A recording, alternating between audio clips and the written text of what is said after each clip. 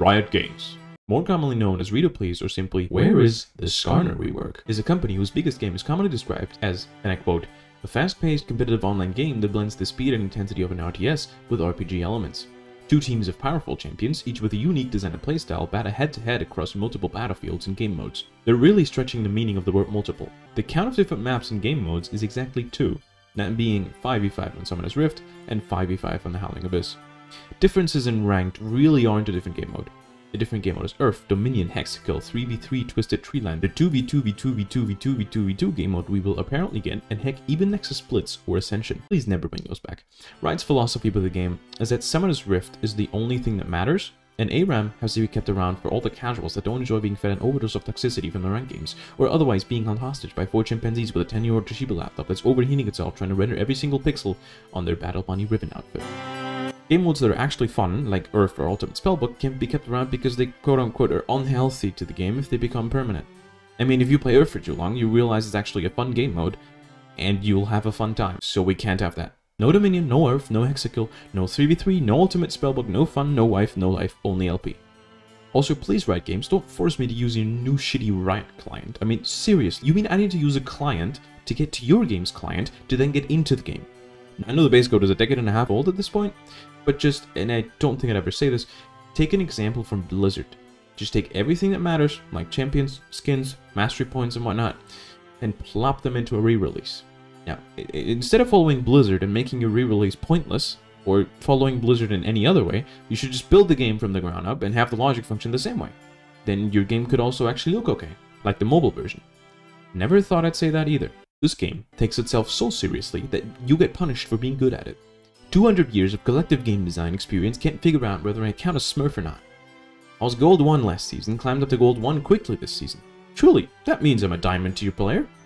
It's like congratulating a kid on doing really well playing this middle school basketball team, and then recruiting a full team of NBA players just to continuously dunk on him for 40 minutes straight because they thought it was young Michael Jordan.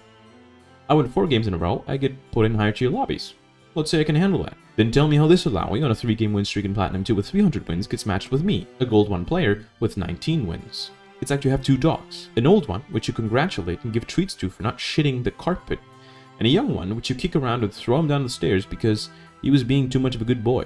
And you might say, yeah, uh, but, but you have so you've played so little, uh, it's fair to assume you're a smurf, because clearly I created my account yesterday and I'm barely over level 30. ARAM, the only other game mode alive besides Summoner's Rift, is balanced differently, has different items and different stats for each champion. Okay, so you figure out how to have the same champion play differently across these game modes, but how come you can't do that for professional play? Riot removes all the fun stuff from the game with the justification that it's either not played enough, not healthy for the game, or actually most of the time because something is too overpowered in pro play. Counter-argument, Riot Games, what stands against creating a game mode that's casual, like the old Dominion, and just plonking all of the items in there?